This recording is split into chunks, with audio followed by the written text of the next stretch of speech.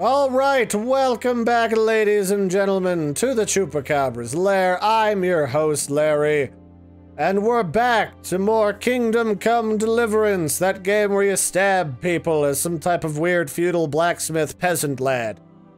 Uh, last episode, we lost our parents' Batman style because our dear home of Skalitz was pretty much obliterated by some people that came in from this hill over here. They rolled up here and murdered everybody in the town and lit these places on fire. Murdered our parents over here by this thing. And then we ran around the backside of this little keep and tried to escape without getting murdered. Uh, yeah, it was exciting. I died over here because apparently zigzagging around the enemy is actually a lot harder than just going right up to them, smacking them on the butt, and then saying, ha ha, and then, you know, going along this long route over here to Talmberg's. This is where we're at. I got an arrow in my butt, and then the, the guard captain man came and fixed me. I think when we last left off, I was sleeping, and the lady of the manor came in and started to uh, get wild and freaky with me with with her word mouth whole place and we shared some stories it was sad we uh we shared some life eh, bonding experience and now what do i have to do? Do i have to go sleep? I know i'm getting hungry so maybe i should eat something. Let's have one of the 50 apples that i stole because to hell with these people and their kitchen. It's all mine now. I'll eat like 15 apples until I'm about to throw up, and then let's pick up this torch.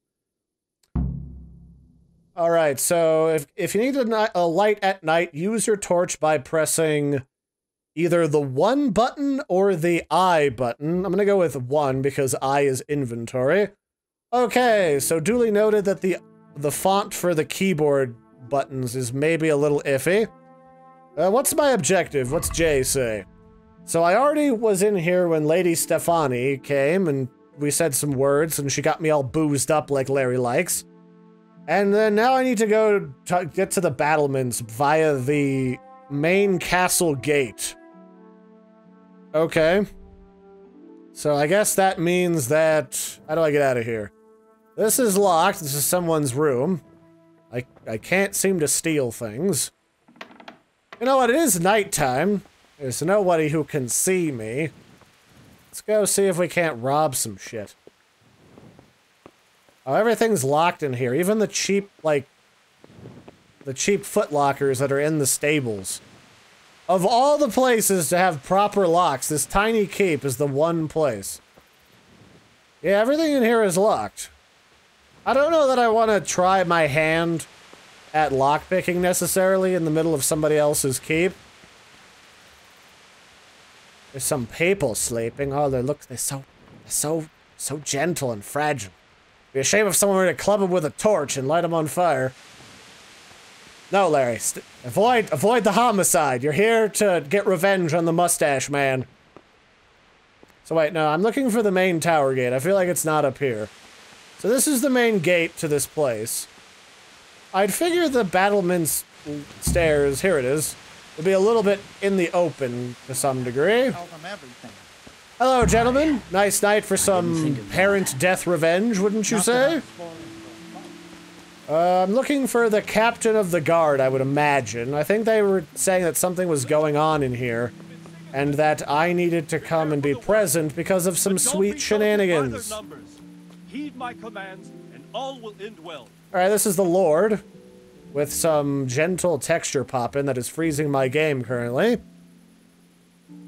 Kingdom come? Hello? Please? There we oh, okay, that's that's better. Okay, don't look at the Lord directly in the eyes, it breaks your game. So here is Sir Robard. Are we, wait, are we about to be attacked? I mean, by the Grue from Don't Starve Together, maybe. All right, Robard, what do you know? What's going on? I don't know. It doesn't make sense. Why would Sigismund advance on Talmberg in the night? Especially since he's lost the element of surprise after the raid on Skalitz. Maybe it's not him. Then who is it? The scouts Divish sent to Skalitz to spy on Sigismund said he'd set up camp and was getting ready to storm the castle. And Sir Radzig is an experienced soldier. He'd surely hold the castle for quite some time. It doesn't make sense. What else did the spy see? Not much of anything. Before they could get close enough, this huge storm started. And you were right. Sigismund has a hell of a lot of soldiers, including all manner of mercenaries. An army like that costs a fortune. Well, anyway, we'll find out when they get here, won't we? Aye, we will. Wow, that was oddly chipper for a town full of people that's smaller than the one that was already obliterated. Or seemingly smaller. Maybe these are refugees. Halt! Who goes there? Lucifer and all his minions. Who else, Robard? Sir Radzig! What a relief. Hey, Radzig probably wants his you? sword now. Yes, sir, he is right here. What are you doing up so late, Divish? At your age, you need a good night's sleep. Well, Radzig, you didn't exactly pick the best time for an outing either. In a big hurry? It was a bit of a scramble, all right. Believe it or not, this tempest is a godsend for me and my men. As my old granddad used to say, better a sore throat than a slit throat. I'd say your grandfather was a wise man. Your messenger told us what happened. Messenger, The lad you sent to warn us. he's alive? He made it to you? He's here with me. He only got away by the skin of his teeth, though. Is this where I go out and go like, Hi, it's me! But me! tell me, friend, how on earth did you manage to get away? Thank God for this tempest. When it began, Sigismund's Tatars crawled into their holes and left us storming the castle for more clement weather.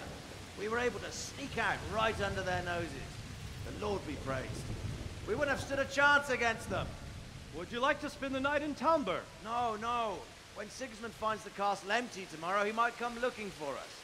We'd only be exposing you to danger. Without me and my men, he has no call to attack you.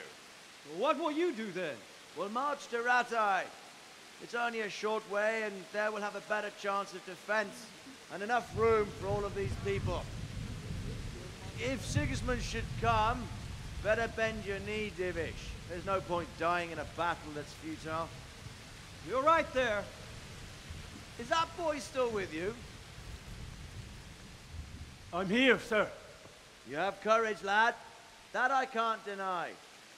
I am sorry about what happened. Would you care to join us? I'd like to, sir, but first I have to return to Skalitz. Are you mad? What do you want there? I can't leave my mother and father. I won't leave their corpses rotting in the street. I'll join you once I've taken care of them. Don't even think of going back there, you donkey. Are you tired of living? But, sir, Quiet! I'm sorry about your father, but getting killed as well won't help him. Divish, make sure that lad doesn't budge from Talmberg until things quieten down. Not to worry, friend. Anyway, he's injured and needs to recover. I'll lock him up here as if he were Havel of Baldic. I've seen you've grown a thick skin since your tribulation, sir. But thank you. We'll meet again when circumstances are more favorable. Farewell. Farewell, friend, and good fortune. Give my regards to Sir Hanush. I will. And good luck to you and your people too. These are dark times. Move out! Anywhere, people! Move out! It's only a short way to now! Alright, well, at least some people survived. I guess that's good. I mean, no, nobody that we know. Most of our friends were probably killed in that little town area, but you know. Men, tonight we'll have triple patrols. Sort out the watches between you as always. And if I catch anyone boozing, playing dice, or slacking off, I'll personally break every bone in his body.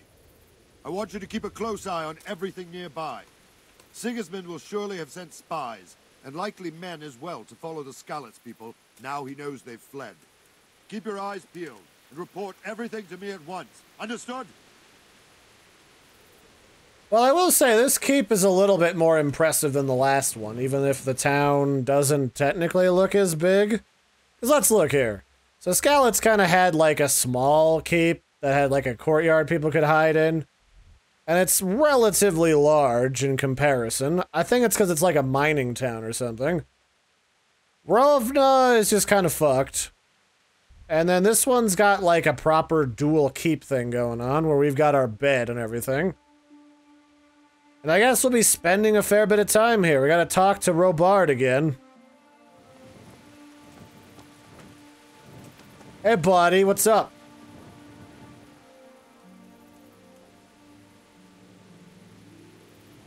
What is it you need? I could use an extra pair of eyes, and yours are keen. Will you keep watch on the battlements with my men? Is that a request or an order? I'd rather it was a request you answered yes to. Of course I'll help.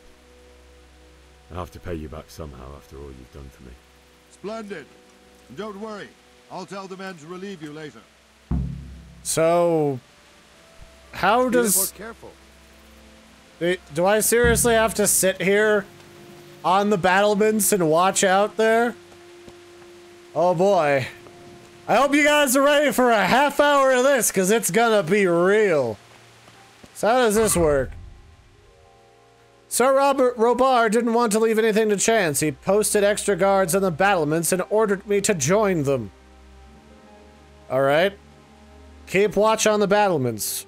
So does that... I mean, obviously that involves looking out, not in.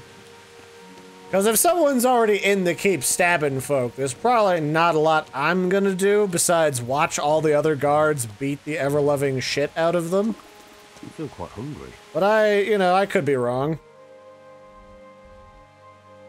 So yeah, I guess I literally just wander about talking with people, learning about my true self. Is there a zoom feature I don't know about where I can like hit control and peer like strongly at a person? Maybe I'm supposed to look around and see if anyone's getting killed in the nighttime. And if I see something, I'm like, yo, Robard, I just saw a guy get murdered. The shit murdered out of him. It was, uh, whoa. It was not the best. Okay, maybe I was one battlement too, too short. Wandering around like a stray sheep. Must be your first watch, eh? I don't think anything much will be happening today. You can just lean against the wall and wait till morning. I'll show you what's what. I will. Thank you. All right. When when you say you'll show me what's what, what what exactly are you implying, sir? Okay, so it's kind of like a Bethesda game. You can you can hit T to wait for stuff, which is nice. So let's see here. Tiredness and waiting. If Henry is tired, his stamina and speech will also decrease. The solution to tiredness is sleep. It's but best to find an available bed. We recommend renting or buying one in an inn. Because sleeping in other people's beds can get you into trouble. You can also sleep in one of the mini camps. But sleeping somewhere in the woods certainly isn't restful as getting a good night's sleep in a bed in a good inn. Places you can sleep can easily be seen on the map. To sleep, you first sit on the bed using E, then launch sleep. Yeah, alright, that's... I guess I can just wait here then.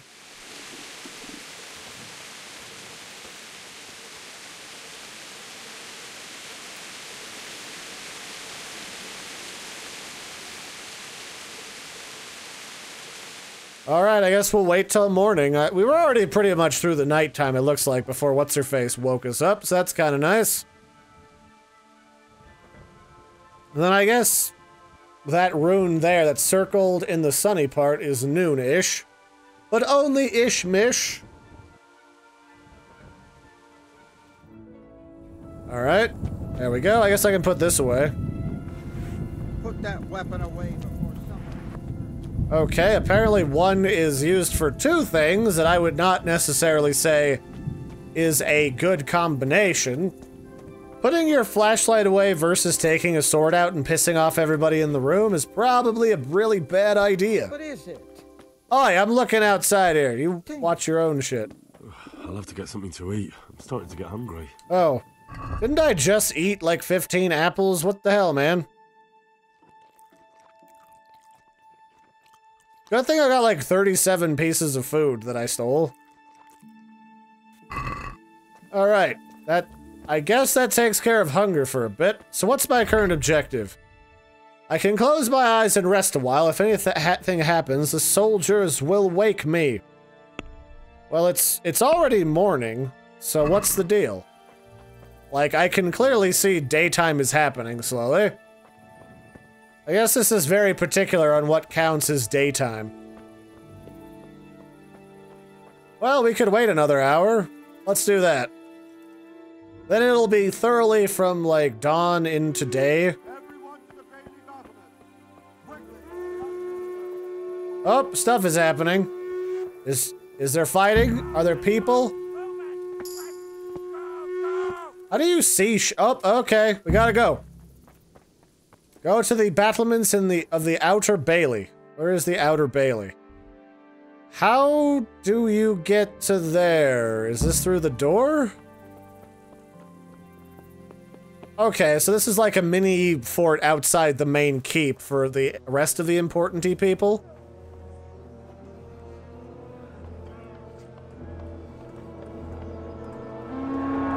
Oh boy! Oh, this is gonna go great.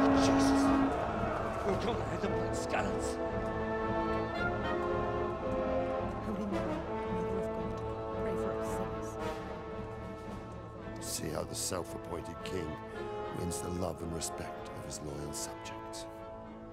Indeed, Robard. Sigismund of Luxembourg has a rare talent for winning people over to his cause. We may be in for a surprise, though. I don't think he will set his heathen dogs on us today. Greetings, Lord of Talmberg. That's the bastard who led the attack at Skalitz and killed my parents. Don't be an idiot. Do you want to? I'm gonna have to write this guy's name down and give him a good stabbing. I am Sir Markvart von Aulitz. I come in the name of Sigismund of Luxembourg, King of Hungary and Croatia, who has resolved to strike against those who disrupt concord in the land and to restore order in the name of his brother, King Wenceslaus IV. Restore order by burning and pillaging the king's estates. Greetings, Sir Markvart. The efforts of the king's brother to bring order to this chaotic land are undoubtedly noble. It seems to me, though, that he and his army have somewhat strayed. As Burgrave of Prague Castle, I am entirely beholden to the king, and here in Talmberg divine peace reigned until your arrival. To what then do we owe the honor of your visit? Yesterday, His Majesty took action against the enemy of the kingdom, the Radzig Kobyla, who has been using the silver from the Skalitz mine to fund insurrection against the crown. Unfortunately, the insurgent escaped. Would you happen to know, noble sir, where he might be at this time? As far as I know, the Sir Radzig of which you speak is the king's hetman at Skalitz. I find it hard to imagine that he would rebel against our king. Nevertheless, I can assure you that Sir Radzig is not at Talmberg. He would be a fool indeed to flee from one castle where he has little chance of defense to another where he has even less. Or do you take the view that my humble manor is any obstacle to your army? Am I to inform the king then that the Radzig Kobyla is not a Talmberg and that he has your loyalty? Sir Radzig Kobyla is not here, and I have no intentions of getting embroiled in affairs from which I have nothing to gain. Very well, sir. As you wish. I will relay your words to the king in the hope he will be as well disposed as you seem to be. Those who have clean consciences and goodwill may find themselves well disposed even at moments like this, when there is little cause for joy. Farewell, sir. Auf Wiedersehen.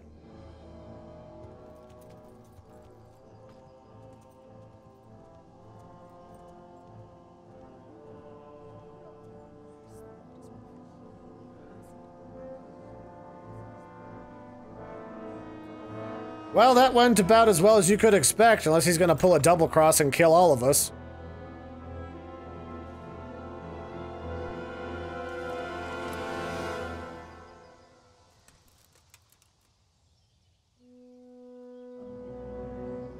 Alright, well, I guess I was right. You do need at least a few peasants and nobles still alive to run your country after you're done taking it over. My lord, you have my utmost admiration. Get on with you, Robard.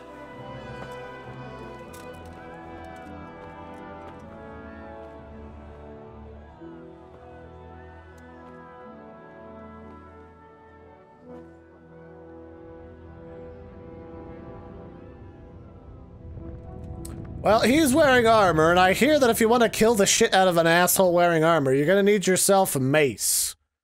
And then he's gonna have a really bad day. And I have written down Sir Markov, Markov of Aulitz on my little notepad for murdering the shit out of him later. Okay, so now I can bury my loved ones at Skalitz, talk to Sir Robard, and get a horse. In that order, perhaps? No, so first talk to Sir Robard. Okay. Well, he, he, he walked off this way. I'm sure he's still available. He's hanging out with the Lord. Lord, what's his butt? Robard, you're a pretty cool guy. Do you, uh, you want to let me borrow my horse that I stole back since it's neither of ours? Actually, we got a lot of options here. I suppose we probably want to ask most of them before we're done here. So, Robard, I need to get to Skalitz. What would you do there, lad? Sigismund might have left, but the place will be swamped with robber barons, brigands, deserters, and other vermin. And anyway, your lord commanded you to stay here. Alright, well, I do have to bury my parents, and my best stat here is probably being... this? So this actually makes sense that I wouldn't have a feel for this guy yet, because I don't know him very well. I'm clearly not going to intimidate a man in full plate armor who could kill my ass with one swing of his mace, so let's not do that. So, Robard, my parents died there. I can't leave them to be eaten by dogs. What would you do in my place? Sorry, lad, but I won't take orders. You'll have to wait until everything settles down, and maybe your lord will change his mind. Why did Sigismund burn down Skalitz and then come here too? That's war for you, lad. Certain lords have resolved to take things into their own hands and eliminate anyone who doesn't share their view. Unfortunately, Sir Radzig is one of those. And what's more, he was sitting on a pile of silver that could help King Wenceslas's allies. See, that makes a lot more sense, because I wasn't really certain. They might have mentioned it initially in the opening sequence, what they were mining, but it just looked like they could have been mining anything from coal to iron. So it makes sense, because they gotta fund the war effort to take back control of the Empire. Although you'd think you'd stage an elaborate murder of Wenceslas, so that you could just replace him, but I don't know. I didn't grow up in a feudal period, and thank God for that. What happened in Kuttenberg? Gutenberg, well, I'm just a simple soldier, but the good Lord gave me ears, and I've heard some things from Sir Divish and from those who fled from Sigismund's pillaging. Were there many? Indeed, but it was the Kuttenberg mercenaries who came to see me, because I knew them from before. I see. Listen, lad, these are all games of the high aristocracy. In Prague, a cabal of nobles rebelled against King Wenceslas, wealthy aristocrats who took against our king for reasons of their own. There's no doubt Sigismund had his fingers in the whole affair. Him and Wenceslas's cousin, Jobst. And that cabal helped him abduct the king. So then why did Sigismund attack Kuttenberg? Why do you think?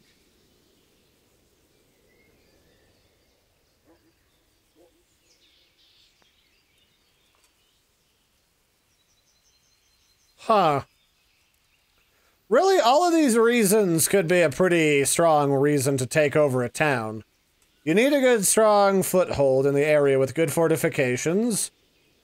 Insurgent lords might be less of an issue when you have that big of an army, but feeding his troops is a bet is a pretty good bet. Because it's a fertile place with full granaries that could feed Sigismund's troops? That's not it. King Charles, may God grant him eternal glory, built Prague into a proper royal city, while King Wenceslas took a liking to Kuttenberg. After Prague, it's the most important city in Bohemia, in the entire Holy Roman Empire. He who commands the Kuttenberg silver is king. So Kuttenberg sided with Wenceslas because he favoured it. Now you're starting to understand. When Sigismund imprisoned Wenceslas and took control of Prague, the people of Kuttenberg began to raise an army against him. So with the attack on Kuttenberg, Sigismund killed two birds with one stone. He defeated Wenceslas's most powerful allies before they could stand against him, and also gained immense wealth. Huh, yeah, alright. Where did these Cumans come from anyway? I don't know much about them, only what the Chamberlain said. That they came to Hungary from the east and settled there. They're godless barbarians and merciless fighters. The nobles used to say the Hungarian king shouldn't enlist them, because they dishonor our rules of warfare. But when there's power and money to be had, it seems that honor isn't worth my spit. And believe me, it's always about power and money. You know, that's actually really accurate to today. And then, I mean, to be fair, also, I'm really, really dirty from just chilling out for two hours outside. Um, to be fair, like, when it comes down to it, rules of warfare only matter if someone's able to punish you. If you can kill everyone else, it doesn't really matter. So what, do I just steal a horse again? You learned Jobst of Morv Moravia. Hey, Oh, shut up, you stupid guard. So, current objective get out of the castle and then bury dead people. Optional, steal a horse, and then don't come back here because everyone will want to kill your ass for stealing a horse. But, because this place just pledged to that other guy, Wenceslas's half brother, the rebellious king who's a bit of a dick. Although I guess I guess they're both kind of assholes. One because he's trying to take over the realm from Hungary, and the other one for being a lecherous butthole. Um. Either way, we're not gonna have to come back here because we're a Wenceslas lad, and we don't have to mess around with none of this business. They pledged to the other guys. So they'll mind their own p's and q's. So how do I get out of the castle? This guy's not letting me out. I could just leap over the side like a crazy person. Eh, that is actually not a bad drop. That is actually, you could just climb in here and kill everybody. Come on, let's do it. Yeah. I'm not a prisoner, I'm people. Alright, that was surprisingly easy. Maybe I should have been sneakier, but I don't... I don't necessarily know what's gonna make NPCs respond one way or the other in this game yet, so whatever. I feel like there's only so much they're gonna chase after one hell-bent for leather dumbass who wants to go bury people who have probably already been horrifyingly mutilated. So if I was gonna be a horse, where would I hide? I came into town from over here. There's an activity giver and an unexplored place. Uh, I'm not really sure where you'd find a horse in here, to be honest with you. I mean, this could be a stable up here, but then I'd have to run all the way back through town and risk getting arrows in the ass. I'll just look around. All they can do is chase my ass more. there. Hey! Hey! No, Alright, fuck it. Well, that... You. That was way... Wait. Jesus, you gave me the runaround. What do you mean gave you the runaround? You walked two feet, you butthole. I have to bury my parents. You're going nowhere. Just fucking Except book it, dumbass. inside. If I don't bury them now, they'll be ripped to pieces by jackdaws and scattered over unhallowed ground. And I'm stuck here, a stone's throw away. All right, shove me. I'll pretend you caught me off guard and I fell over. I'll deal with the others. Push his Get ass! out of here on the double. Push him on his ass! Kurva! What are you doing here? Oh, well, apparently that's not the shove button all of a sudden. Alright, well, fuck it, I'm punching a guard and running like a- oh, oh, oh, there's more guards. How was this ever supposed to work? Okay, so, suffice it to say, I did not fully anticipate that weird cutscenes would happen when guards get within two feet of you. you. So that was a little bit odd. So let's try talking to this guy one more time. I'll try my speech jig- ma- majigger. And then we'll just see if we can't, like, run away from this place come maybe nightfall? I don't know. So, Robard, I need to get to Skalitz. Yeah, yeah, blah, blah. Talky Skippy. My parents died there, and I won't leave them to be ravaged by dogs. I have to bury them. Good God, boy. Do you want to throw your life All right, well, I guess it, this is one of those back? NPCs where it doesn't matter what I do, I'm just bound to fail this. Which is fine. I already know all the rest of this stuff. So, what's the 411? I think the way that that dialogue tree works is it's kind of like in, uh, in an MMO when an, an enemy is way too high a level for you. You can't tell how powerful they are and what level they are. So in a similar rigmarole, they, uh, you can't tell what their stats are.